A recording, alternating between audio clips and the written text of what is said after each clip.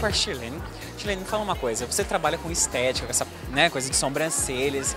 Dá tempo da mulherada se cuidar? A mulherada tem se cuidado em pleno 2019? Porque trabalha, cuida de filho, vai atrás, marido. Dá tempo? Dá tempo sim, viu?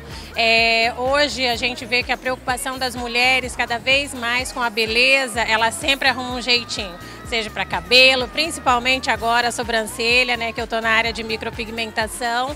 E a gente vê que cada dia mais a mulher busca e principalmente a área da sobrancelha que é o que a moldura do rosto, né? Então a sobrancelha hoje não tem como, é uma área que cresce cada dia mais, são técnicas diferenciadas que a gente tem que estar tá buscando cada vez mais conhecimento, né? Porque a gente trabalha com técnicas de shadow, que é as esfumadas, que hoje está no auge, é a fio a fio, para quem busca uma naturalidade também, né? Então nós sempre procuramos se aperfeiçoar e buscar mais conhecimento para trazer para nossas clientes. Show de bola. E, e assim, dá tempo da mulherada ir atrás fazer isso? Porque trabalha, né? Cuida do marido, cuida do filho, tem família e outras coisas. E aí, tipo, ainda a mulher ainda se cuida, gente. Como que a mulher arruma tempo? A gente não sabe.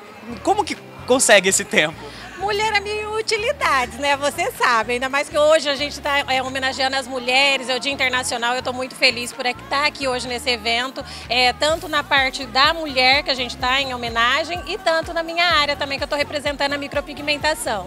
Então eu falo, mulher, ela é nunca perde a essência, mulher ela é guerreira, ela cuida tanto de casa, dos filhos, do trabalho, ela dá um jeitinho para tudo, mas que ela consegue ficar bonita, ela fica.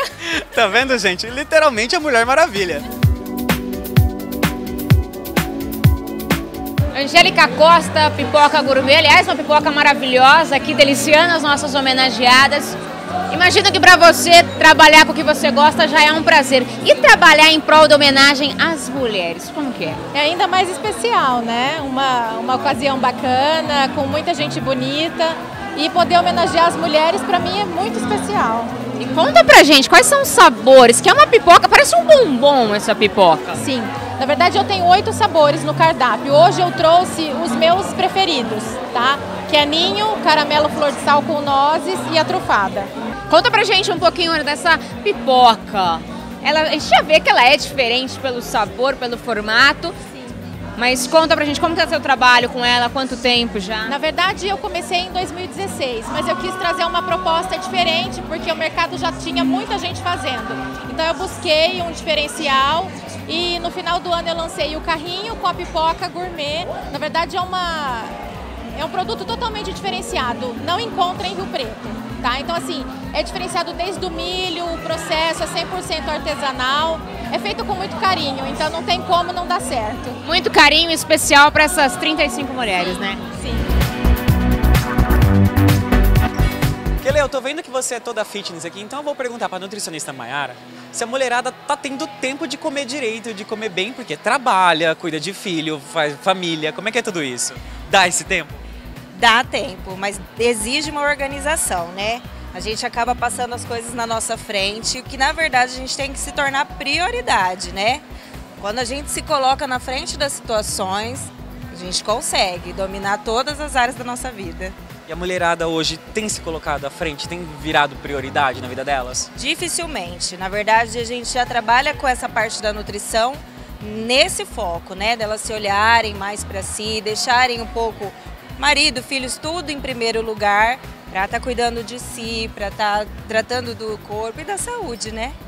Tá vendo, mulherada? Então se cuidem, se amem. Gente, agora eu tô com ela que cantou e encantou o evento aqui, que é a Elis. Elis, parabéns primeiro, que voz maravilhosa é essa?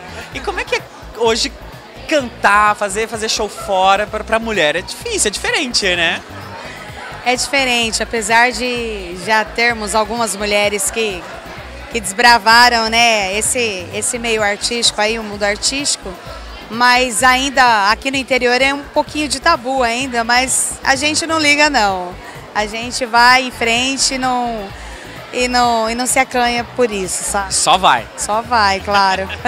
e como é que é para você participar de um evento como esse que fala do empoderamento feminino, né? Você é uma mulher empoderada e participar de um evento que fala disso deve ser genial, né? É, é maravilhoso, né? É o segundo ano que eu participo com a Malu. Acho a Malu uma mulher incrível, super empoderada. E o empoderamento está dentro de cada mulher, né? E a gente vê grandes personalidades, mulheres que foram homenageadas. E eu acho que assim, todas as mulheres que estiveram no evento hoje podem se sentirem homenageadas, né?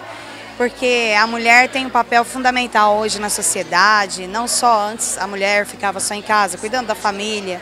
Hoje não, né? A mulher é, a mulher dominou, tomou conta, né?